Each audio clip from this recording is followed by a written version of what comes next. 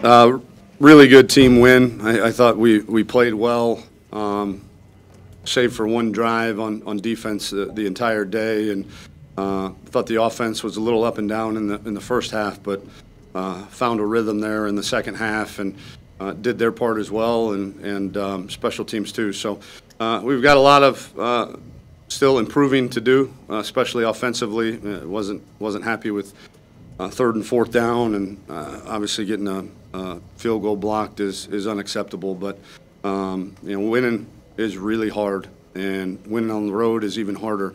And it doesn't matter where it's at or who you're playing, uh, especially in this conference. Uh, it is really, really difficult to win on the road, and proud of our guys. Um, and we'll celebrate this one tonight and, and get to work for, for TCU tomorrow. Uh, injuries: uh, PJ Locke with a, a ankle sprain.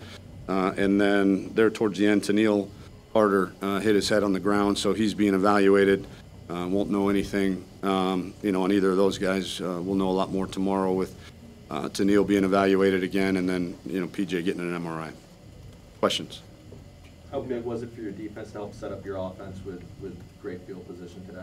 Yeah, I mean they're they're they're carrying us right now, and um, uh, if there's one side of the ball that I would like to carry us, it is that side. And, um, you know, that's number one on our plan to win, is to play great defense. And uh, we're doing that uh, pretty well right now. And uh, the one thing I, I admire about this team, and I'm really proud of them, is um, even with the offense's inconsistencies there in the first half, um, you know, the defense kept playing. And I, I think that it's a bit of a badge of honor for them right now, knowing that um, we're going to uh, probably for the rest of the year, you know, need them to play great uh, in order for us to, to have a chance to win. And, and they relish that, and they, they look forward to the challenge each and every week, and uh, was really proud of them. Uh, How how big was it for your players, and frankly, your offensive coaches, to see something constructive with the run?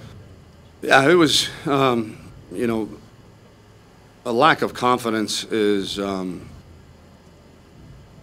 can be really detrimental to, to an offense. Um, and for us to, to be able to block every, I mean, we saw four down front, three man front, bear defense, lots of blitz, Tampa two, cover three. I mean, that was, uh, we- we went into the week knowing that they were going to be multiple, and, and boy, were they. And um, we settled down there, and I, I think it's, it's really important uh, for our guys to, to kind of have that confidence uh, going in uh, to this week and the rest of the season.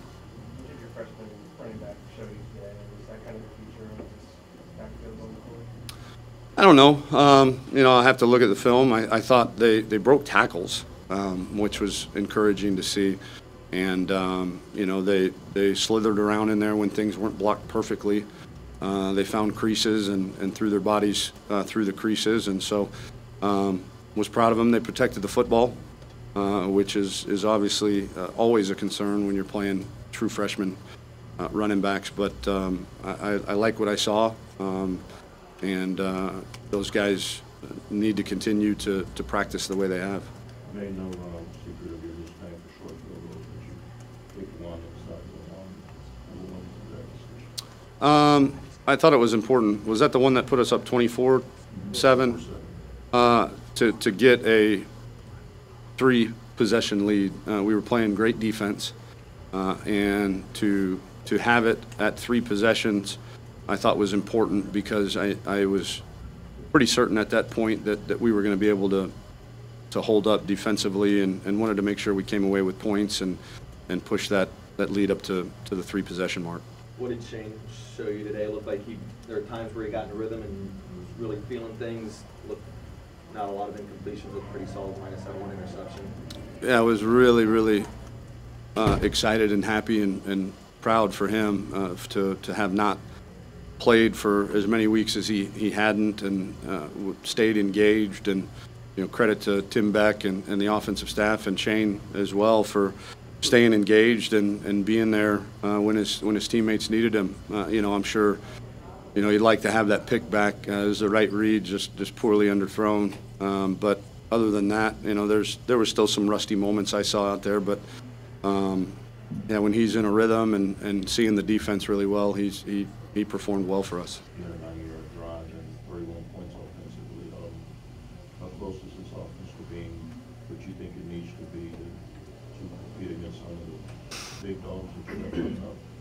Yeah, I, I, think, you know, we, we matched up well with Baylor. That, that's uh, definitely part of it. Um, So, you know, we got, we got to improve third down.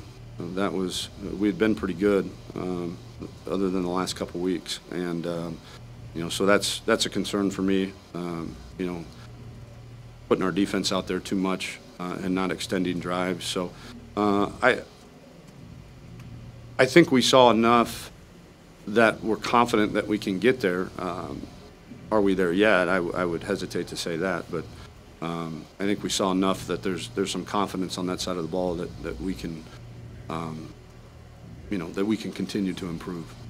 Coach, when you're coming off of back-to-back losses and then you're facing winless team, crazy things can happen that day. Just talk about the mental toughness, you know, of your squad to be able to rebound after those losses and stuff like that. really proud. Um,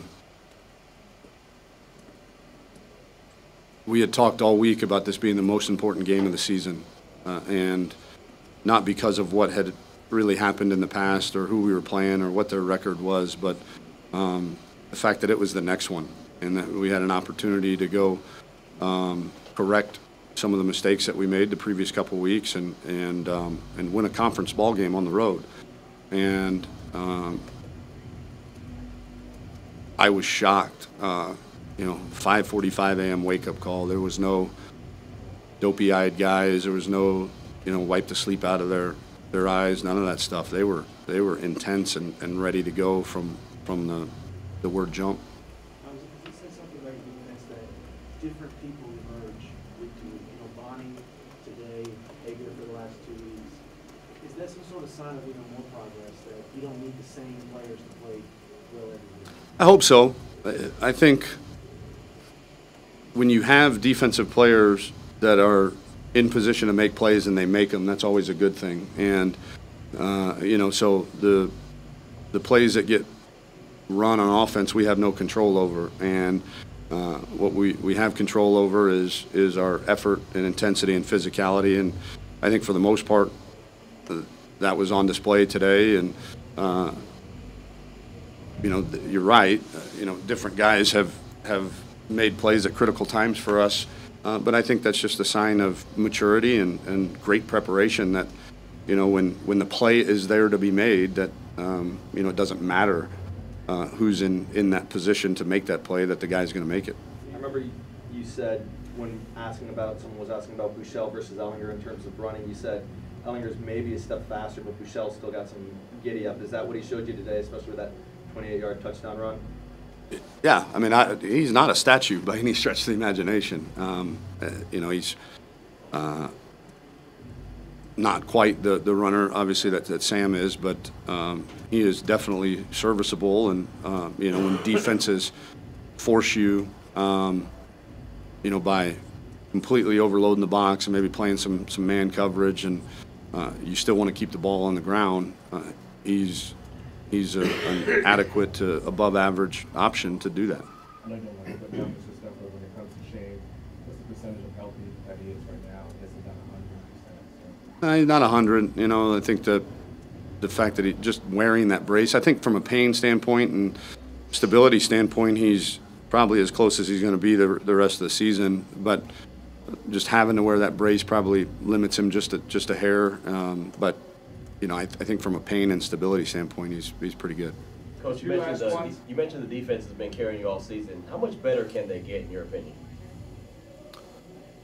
I, I think the sky's the limit, to be honest with you. I, I think, um, you know, if we can play as well as we have in, in the past game the last couple of weeks, um, and, and still be able to defeat blocks and get off blocks and stop the run, um, you know, I, I don't know how much better, but, but I think the, the sky is the limit, and these, these kids are more and more confident. I mean, there, there was, one of the things I was proud of was, I mean, you know, one of our captains goes out and PJ Locke, and there was no drop off that I saw, you know, putting Antwuan Davis in there at, at nickel. And so um, even the, the key backups are, are um, performing for us right now. And so um, I'm excited to watch them progress.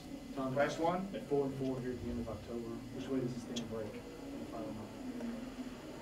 Oh, I don't know. I, I just, I, I want to go 1 and 0 this week. Yeah. And, um, you know, the big picture is irrelevant right now. And uh, really was happy and proud of our guys' um, um, approach to this week and that one and oh mentality. And I, I think the fact that we were able to do what we did, having that approach, it again lends confidence to that's that's the the approach that we're going to need to take each and every week. Thanks, Coach. Thank you.